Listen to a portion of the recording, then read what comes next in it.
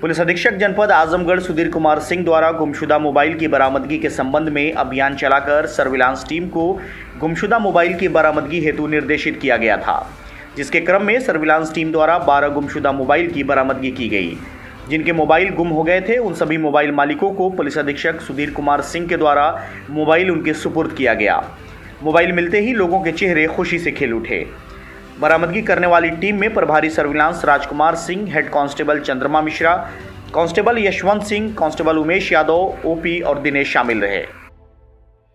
देखिए, ये चोरी के जो मोबाइल्स हैं, काफ़ी लोग अपना एप्लीकेशन लेके आते हैं कि उनका मोबाइल कहीं खो गया है गिर गया है। उसे हम लोग सर्विलांस पर लगाते हैं और आज सर्विलांस टीम ने एक अच्छा काम किया और 11 मोबाइल जो खोए हुए थे, उन्होंने वो बरामद की है। वो सब लोग भी यहाँ पर जिनके मोबाइल खोए हुए थे, वो यहाँ पर आए हुए हैं। और उन्हें मेरे द्वारा मोबाइल दिए गए हैं तो एक अच्छा काम है। किसी इसमें से अभी मेरे द्वारा पूछा गया तो एक मजदूर भी था जिसका मोबाइल खोया था। तो एक मजदूर के लिए अगर उसका महँगा मोबाइल वापस मिल जाए तो बहुत बड़ी बात है।